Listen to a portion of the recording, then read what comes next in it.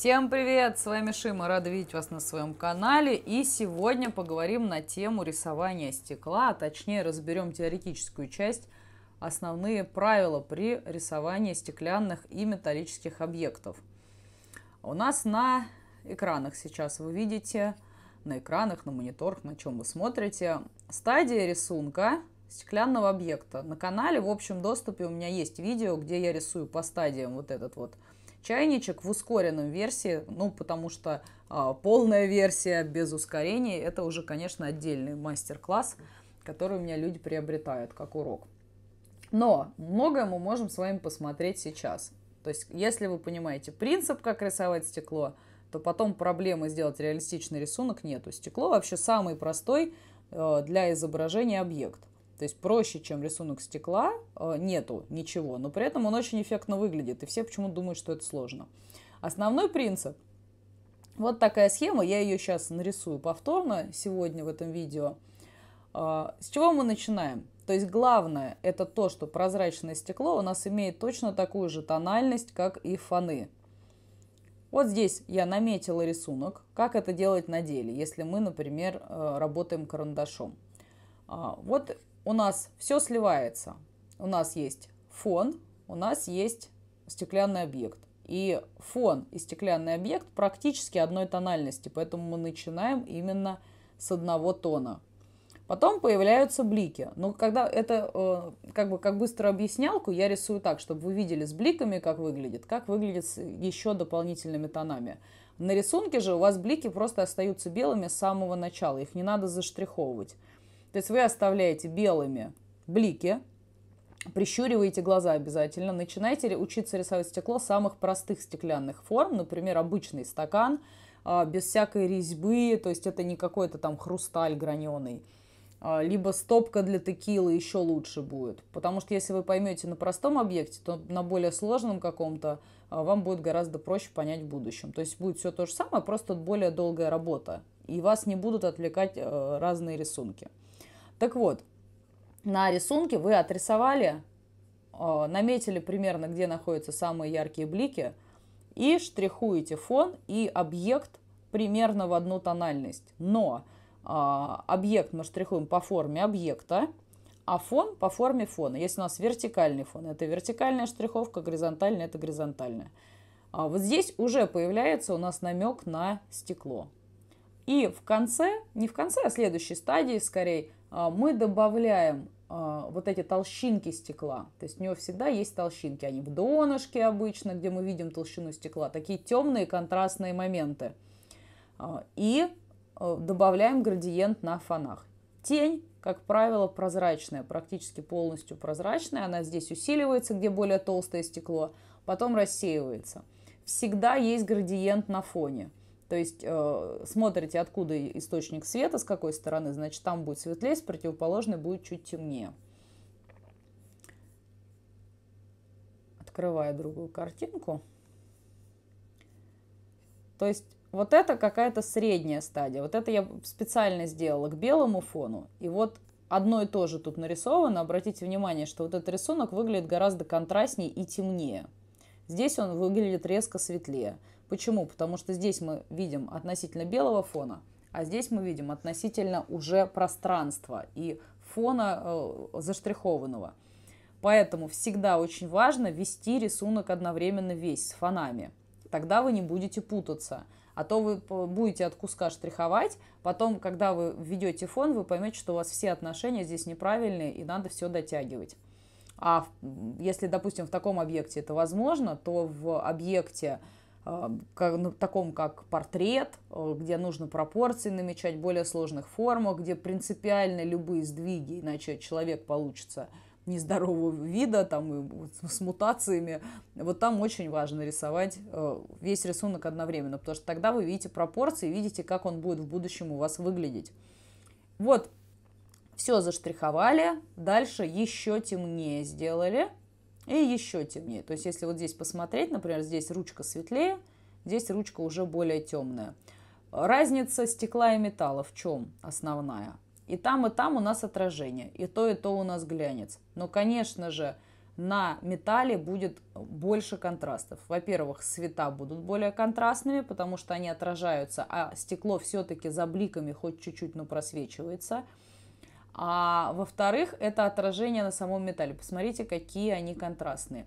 Отражения и на стекле, и на металле всегда будут идти по форме объекта, который мы изображаем. То есть вот здесь у нас вертикальная форма, значит все отражения идут вертикальными, то есть вот такими вертикальными полосочками. Здесь на хромированной вот этой вот покрышечке у нас идет форма закругленная, соответственно и отражение у нас закругляется по этой форме. На вот этой части уже вот так оно идет.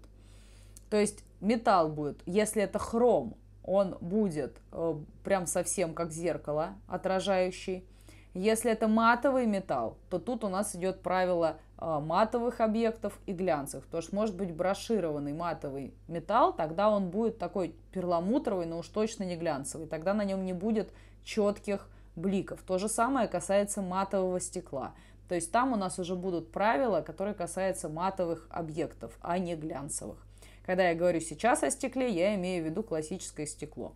А, открыла много картинок, чтобы вы могли сравнить э, контрастность стеклянных объектов и контрастность металлических объектов. Насколько здесь э, темные вот эти все отражения. Вот здесь, обратите внимание, на вот этом бокале как раз брошированная часть, которая стерлась. То есть стерлось вот это напыление хромовое. И сразу у нас пропадают контрасты. То есть вот они просто вот здесь вот в этой потертой части растворились. Не такие четкие уже блики, а, а блик фактически на, на глянцевой поверхности, блик это просто отражение. А, то есть вообще, в принципе, а, рефлексы, все вот эти отражения, это как в зеркале то, что окружает. Из-за того, что матовый объект не настолько блестящий, не, не такую отражающую способность имеет, на нем они гораздо менее контрастны и не так читаемы. Когда у нас полный глянец, мы прям видим, как в зеркале все.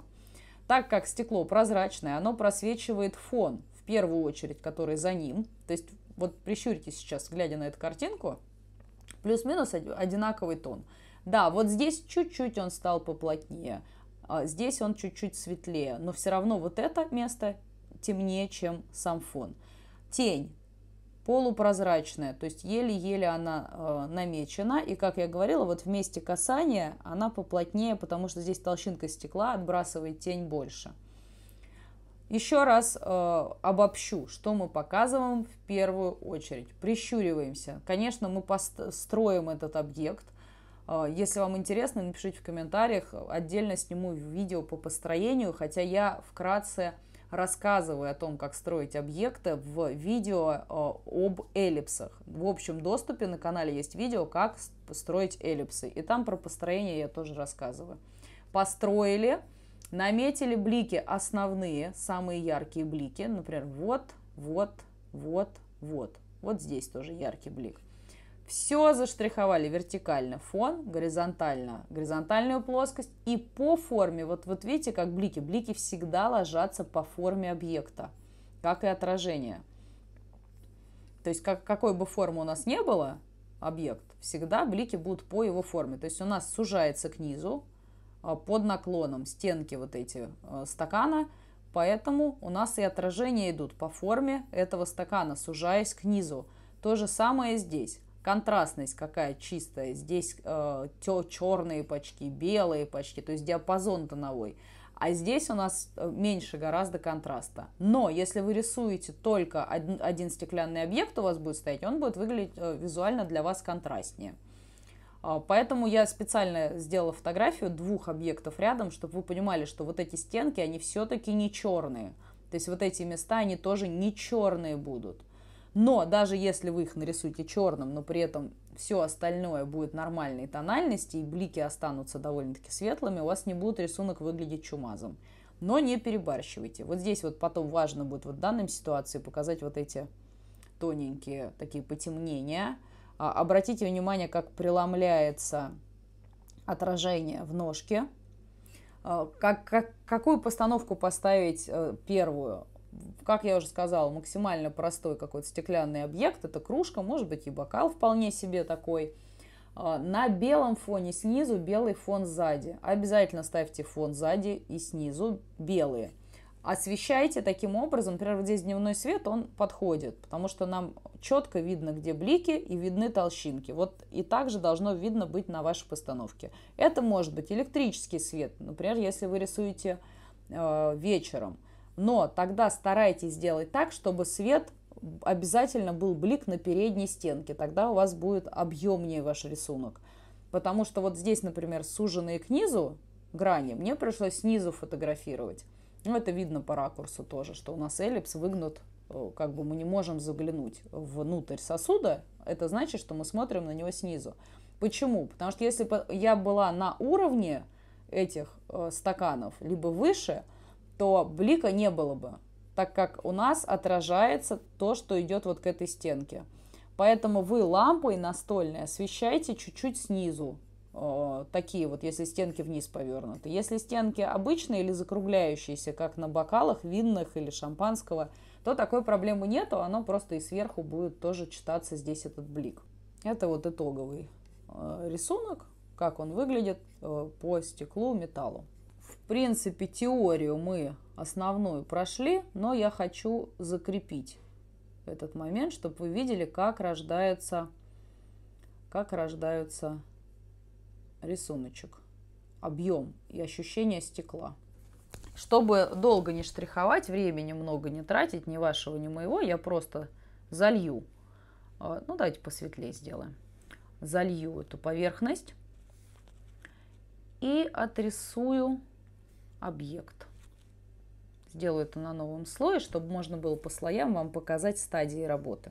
Сейчас я не буду заморачиваться на построение, это будет быстрый такой скетч – то есть мне надо, чтобы вы поняли основные правила, принцип рисования. Вообще, когда я намечаю даже для длительных рисунков, в принципе, художник должен уметь на глаз все пропорции, все вот это намечать и выравнивать.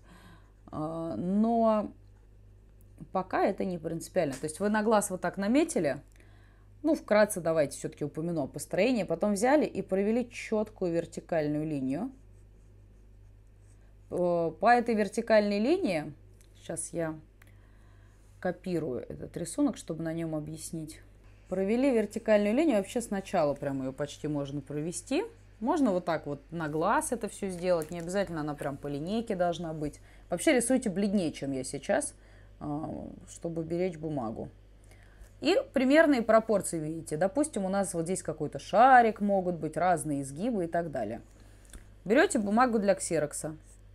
И сверху отрываете по длинной стороне вот такую длинную штучку. Ну, прям руками можно, либо отрезать ножницами, неважно. Главное, чтобы один край был ровный. Прикладываете эту бумажку, вот сюда, допустим, приложили. И отметили на этой бумажке карандашиком. Потом эту бумажку прикладываете сюда еще раз. И у вас получается, вот прям можно линию для эллипсов обязательно, вот горизонталь проводите. Это самая выступающая часть эллипса будет.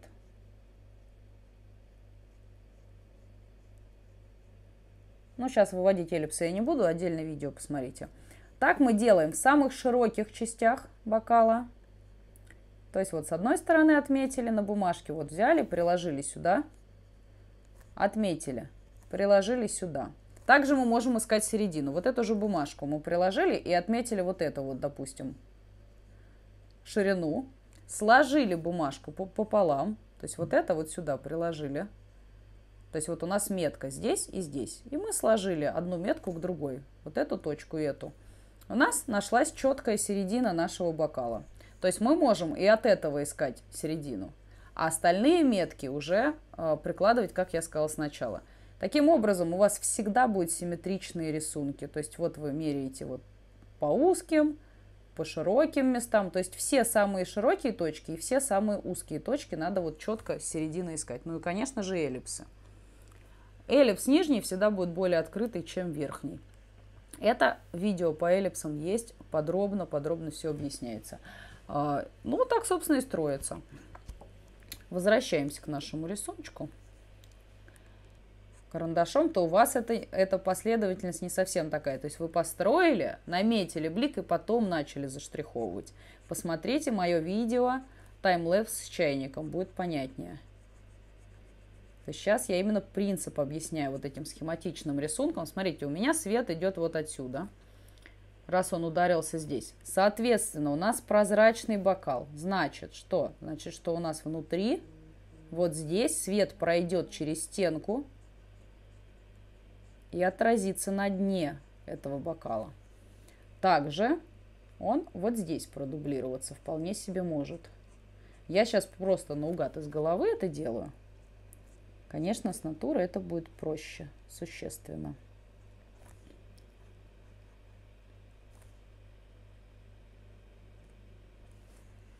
Ну, сейчас мы уже введем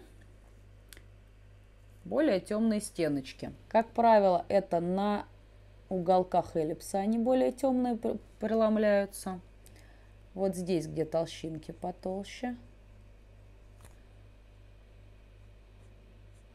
Если у вас сзади идет вот такой прямой фон, то, конечно же, будет вот такое преломление. Либо в другую сторону, зависит от формы. То есть вот если вы просто сделаете блики контрастные, и вот эти темные внедрения тональные, у вас уже будет ощущение стекла. А потом уже можно добавлять вот эти все нюансы полутоновые. То есть, например, чуть-чуть тут каких-то отражений дать.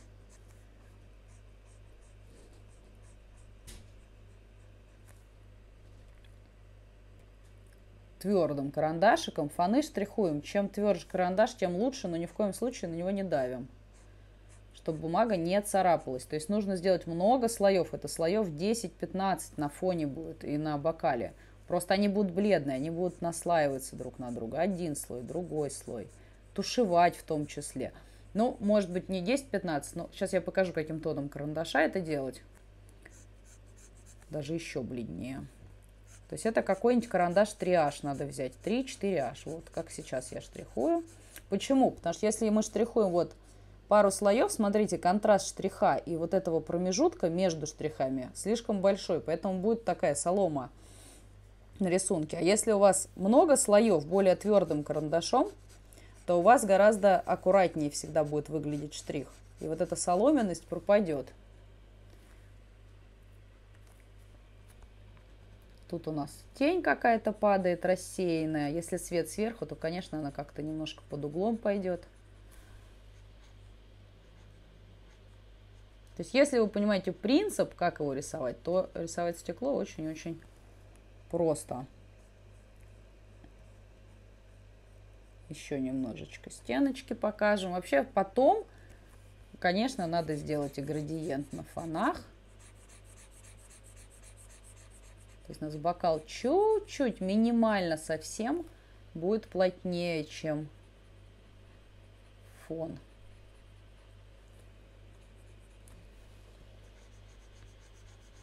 То есть вот это светлое я ввожу, и сразу нам становится понятно, откуда идет свет, откуда источник света. Пишите в комментариях, насколько вам интересно в таком формате именно объяснялки. То есть не длительный какой-то рисунок, а именно объяснялка. Потому что, на мой взгляд, они, конечно, важнее. Вот смотрите, вот здесь сейчас я ввела, и бокал начал от фона отклеиваться. То есть становиться объемней. Это схема. Это я не стараюсь сделать реалистичный рисунок. Так, а тут уже нам можно немножечко фон уплотнить наоборот.